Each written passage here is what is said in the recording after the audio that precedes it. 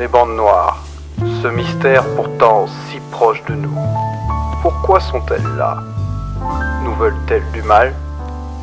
Comment les apprivoiser? Qui pourra bien m'aider à vous en parler? Bonjour, je suis Hardisk et vous regardez la chaîne Explique-moi encore parce que je suis un peu bête et j'ai besoin qu'on m'explique deux fois les choses.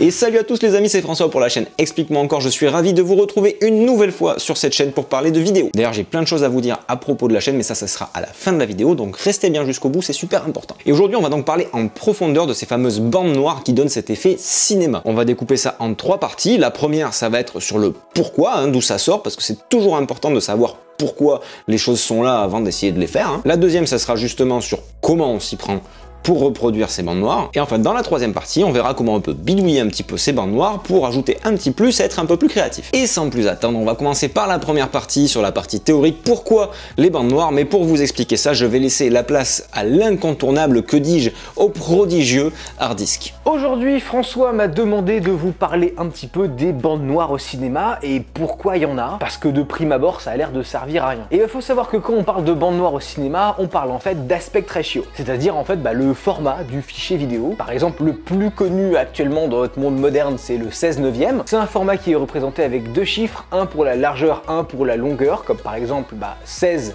neuvième. Et c'est un chiffre qui a beaucoup changé avec l'histoire. Faut savoir que les premières télévisions, notamment les télévisions qui étaient en noir et blanc, et même après les premières télécouleurs, je crois, étaient en 4 tiers. C'était pas des rectangles comme on a maintenant, c'était plus des carrés. Et à l'époque, c'était simple, tout était tourné dans ce format, les émissions de télé étaient tournées en format carré, les films aussi, bref, il n'y avait pas vraiment de questions à se poser. Sauf qu'ensuite, Ensuite, il y a eu euh, l'avènement du cinéma à 35 mm à mes couilles, et donc est venu le problème qu'on allait devoir diffuser dans des écrans d'une taille restreinte des formats de vidéo de différentes tailles et de différents aspects ratio. Parce qu'évidemment, tout est différent, hein. que l'on tourne bah, en 4 tiers comme à l'époque, que l'on tourne en 35 mm, 70 mm, c'est pas exactement la même taille de rectangle. Et donc du coup, il fallait standardiser un petit peu tout ce bordel, sinon on allait se retrouver avec des trucs qui sont d'ailleurs, je crois, littéralement arrivés dans le monde réel, où un film était diffusé à la télé avec les bords de l'image coupés, parce qu'il fallait forcément zoomer dans l'image, sinon ça allait être bizarre, on allait juste avoir un bout de film et le reste entouré de barres noires qui est n'importe où, ça n'a pas de sens. Du coup, littéralement, quand vous voyez des barres noires, c'est une façon de faire rentrer un format dans l'écran dans lequel vous le visionnez. Rend comme ça de force, tu vois, genre rentre je fais des blagues. Ça, euh, c'est l'explication théorique euh, faite en 2 minutes 30 par euh, Jean-Michel Hardis. Mais je suis sûr que François, mais François, d'ailleurs, François, homme de qualité, François, homme, mais vraiment, mais qui sent bon le matin. Il se réveille, il a pas mauvaise haleine, le mec Et ouais, ma gueule, je suis une licorne, moi, qu'est-ce qu'il y a François, saura encore mieux vous renseigner. À vous les studios Donc en gros, les bandes noires, bah, c'est tout simplement fait pour faire rentrer euh, des films qui sont au format 21 neuvième, qui est le format le plus répandu pour les films de cinéma, dans un écran 16 neuvième qui est forcément un petit peu plus haut. D'ailleurs, il existe des écrans au format 21 neuvième, et si vous regardez un film qui est dans ce format-là sur un écran comme celui-là, eh ben vous n'aurez pas de bande noire logique. Mais comme dans la majorité des cas, nos écrans ils sont 16 neuvième, on a les bandes noires, donc dans nos têtes, cinéma égale bande noire. C'est pourquoi nous passons maintenant à la deuxième partie, comment on va créer ces fameuses bandes noires. Moi je vois trois façons différentes pour les créer. Il y a la rapide mais limitée, la rapide mais fun et la vraie de vraie. Alors la rapide mais limitée c'est hyper simple. On va tout simplement dans Final Cut aller chercher l'effet Letterbox,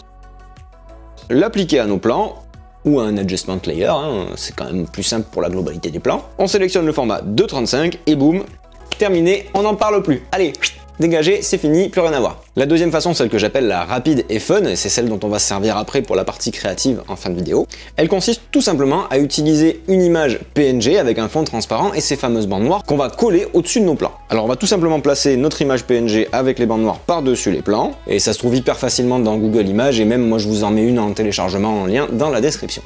Un petit drag and drop, on étire sur toute la vidéo, et hop, c'est terminé. Là encore, finger in the nose. Ouais, je suis super qu'il y a Enfin, ce que j'appelle la vraie de vraie, bah, c'est tout simplement faire du vrai 21 neuvième, hein, le format cinéma. Et le petit plus de cette méthode-là, c'est que si vous utilisez un écran, ne serait-ce que les smartphones, qui est plus large que du 16 neuvième, bah, on n'aura pas des bandes noires sur le côté. Parce que si on utilise le PNG ou l'effet Letterbox et qu'on regarde la vidéo sur un écran au format 21 neuvième ou plus large que le 16 neuvième, bah, on aura les bandes noires en haut et en bas, mais on aura aussi des bandes noires sur les côtés. Et ça, c'est moche, c'est pas cool. Il faudra zoomer dans l'image pour pouvoir mettre en plein écran. Donc ça, c'est pas top. Donc cette version-là, avec le vrai format 21 neuvième, elle va permettre d'éviter ce petit écueil ici. Pour ça, je vais aller dans Nouveau projet et je vais mettre des dimensions personnalisées pour mon projet. Alors en HD, ça me donnera du 1920 par 800. Et en 4K, ça me donnera du 1340 par 1600. Ensuite, je vais pouvoir utiliser mes rushs en 16 neuvième que je vais devoir étirer et voilà, on a notre film en format 21 neuvième, format cinéma. Alors je vous ai montré trois méthodes, il n'y en a pas forcément une qui est meilleure que l'autre, ça va dépendre un petit peu du type de projet que vous faites. Le letterbox, c'est un petit peu la solution de facilité, c'est quelque chose qui va très vite, euh, tout comme le PNG. La letterbox, ça implique qu'on fera aucun petit effet avec derrière, on va le laisser comme ça, on va mettre des petits plans cinématiques au milieu de euh, vidéos, de plans, par exemple de face caméra sur un vlog qui vont être en 16 neuvième, hein, puisque eux n'ont pas d'utilité à être en 21 neuvième. C'est la solution de facilité, on va dire, qui est pas mauvaise, hein, mais qui est un petit peu limitée. Le PNG, quant à lui, on va plutôt l'utiliser quand on va vouloir faire des petits effets, comme on va voir juste après. Et enfin, la solution qui consiste à faire du 21 neuvième, là, ça va être pour vraiment un film complet qui va être dans ce format-là, puisqu'on n'aura pas de possibilité d'alterner le 16 neuvième et le 21 neuvième. On aura tout vraiment au même format. Donc vraiment, pour du court métrage, pour un clip, cette méthode, elle convient à des films qui vont se vouloir un petit peu plus cinéma. Maintenant, passons à la dernière partie. On va essayer d'être un petit peu créatif avec ces bandes noires et pas juste les poser là et puis voir ce qui se passe. Premier effet qu'on peut faire et qui est vachement sympa, c'est l'arrivée progressive de ces bandes noires comme ici. Et pour cet effet, on va utiliser le fameux PNG. Alors c'est hyper facile. J'ai placé mon PNG. Je me mets au début et au niveau de l'échelle, je vais placer une keyframe. Et puis je vais l'agrandir pour qu'elle ne soit plus visible dans le cadre. Ensuite, j'avance de quelques secondes et là, je vais remettre l'échelle à 100% et bim, entrée progressive des bandes noires. Totalement easy et effet garanti. Un autre effet sympa qu'on va pouvoir très facilement appliquer, ça va être un genre de reveal shot qui va révéler la scène au fur et à mesure que les bandes noires s'écartent. Pour commencer, je vais laisser mon PNG tel qu'il est et j'y toucherai pas parce que ça m'évitera de me prendre la tête avec les dimensions. Ensuite, je vais ajouter un fond noir uni que je vais placer à la moitié de l'image, comme ça. Ensuite, je pose une keyframe, je décale de quelques secondes et je fais sortir l'image par le bas. Maintenant, je vais répéter l'opération, poser un deuxième fond noir, mais cette fois-ci pour la moitié du haut. La keyframe, je me déplace, je fais sortir cette fois-ci ce fond noir par le haut, et boum, on a une petite entrée en matière bien sympa. Et voilà, là je crois qu'on a fait le tour de ce qu'on pouvait dire sur les bandes noires. On aurait pu parler d'anamorphique, mais c'était pas vraiment à propos. Donc ça, à la limite, on en parlera peut-être dans une autre vidéo, mais il y a aussi Hardisk que je remercie grandement d'avoir participé à cette vidéo, qui en a fait une qui est super bien hein, sur l'anamorphique. Donc allez voir, si vous n'êtes pas abonné à la chaîne d'Hardisk, il faut y aller. C'est un mec super, super, super cool. Moi, je l'aime beaucoup. Et puisqu'on arrive à la fin de cette vidéo, il y a quelques jours, on a passé le cap des 20 000 abonnés. C'est juste euh, barjo. J'avais mis 3 euh, ans pour en avoir 10 000 et là, il a fallu un peu plus de 6 mois pour passer à 20 000. Euh, et, c'est juste énorme. ça me fait hyper plaisir de voir que vous êtes de plus en plus nombreux à, suivre ces vidéos, à interagir dans les commentaires et, à apprendre grâce à, ce que je vous propose. Donc ça, ça me fait hyper plaisir c'est vraiment le, but de cette chaîne. Hein. Vous proposer du contenu pour vous aider.